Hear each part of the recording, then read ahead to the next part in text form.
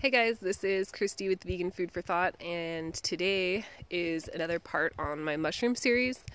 Um, I actually found something yesterday that was pretty interesting. Um, I'm like almost 100% sure. I'm not quite 100% sure on that one, but um, I always, uh, am, you know, like err on the side of caution with eating mushrooms. If I'm not sure, then, you know, and if there, especially if there's a poisonous lookalike, I don't just like go and taste it or eat it.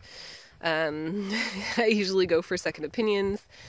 But, um, anyways, there's a mushroom in front of me that I know I am 100% sure on, and it is one of my favorite mushrooms. I wouldn't say it's my favorite favorite, but it is like in the yeah, the the flavor is just like amazing on it. Um, and it is lion's mane. So let me see if I can. I we don't have any um, tripods or anything to reach, but if I hope you guys can see it up there.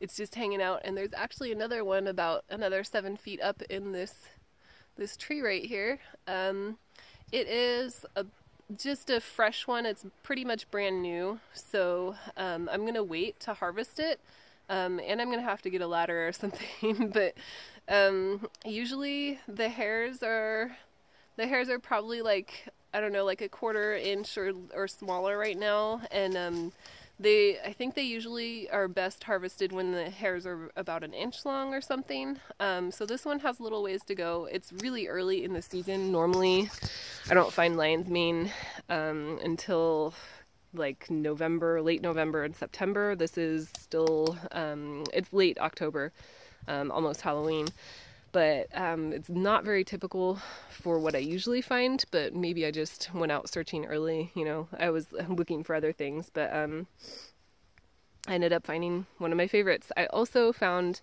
a reishi mushroom, um, and I do plan on maybe I'll post something on that, but um, I don't have any video editing software, so it'll just have to be in parts.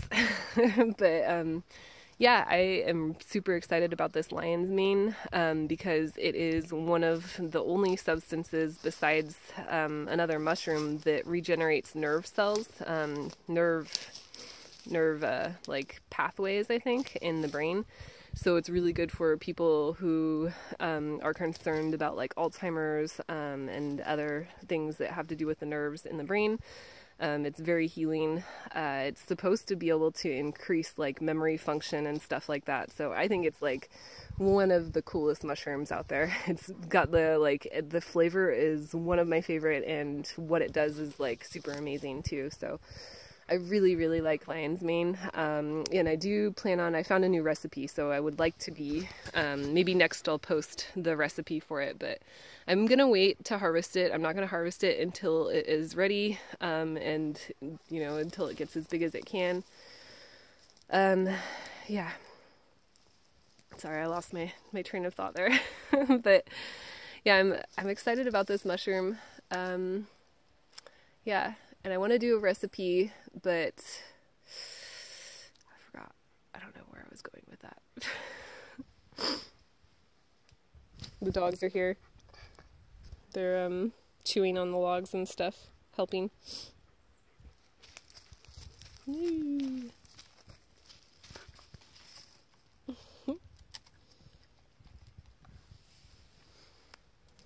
yeah, I don't know. I don't know what I was saying there. let's see. Um, so, anyways, I'll be updating parts and things, but yeah, uh, I really like lion's mane. It's really cool.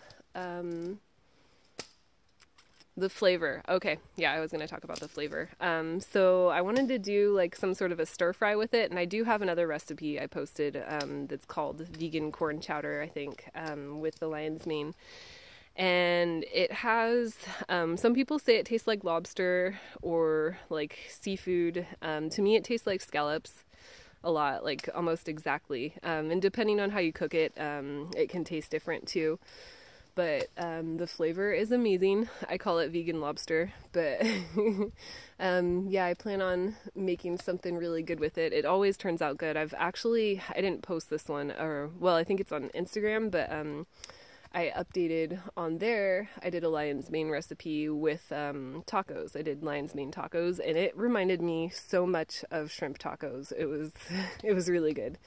Um, I'd say the flavor's a little bit more mild than shrimp, but then I kind of prefer that because shrimp, like shrimpy shrimp, isn't always like, you know, the best flavor. But this stuff is more like mushroomy, more, I don't know, like a mild seafood flavor or something. But it is amazing. Um, and there are some techniques for cooking it that I wanted to try out. So I'll be doing that.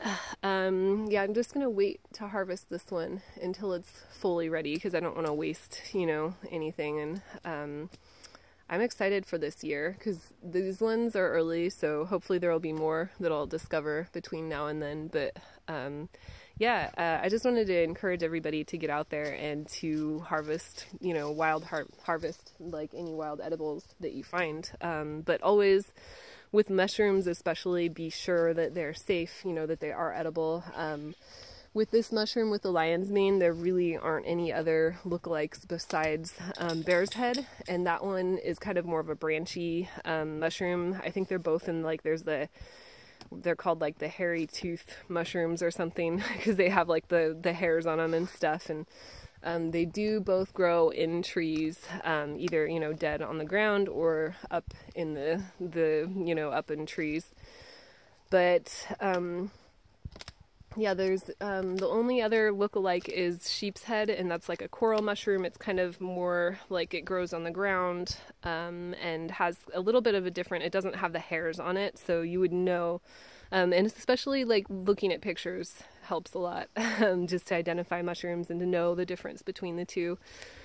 Um, but that one, the sheep's head, is not poisonous, but it can cause like gastrointestinal issues. So I wouldn't recommend eating that one, but um, oh, we got a notification. But it's not like, um, you know, it wouldn't be a bad mistake to make, or it wouldn't be a, a deadly one. But um, Yeah, I would. Uh, I would actually. What I'm on is a mushroom form right now, and that's helped me a lot with identifying mushrooms. A lot of people on there, you know, like have really good opinions on a lot of them, and some people will just give you like whatever they think it is, and they're not always super accurate. But um, for me, lion's mane, I've actually seen it in person before, and it's been identified. So I always make sure that I know like what I'm what I'm harvesting before I'm eating it, or at least.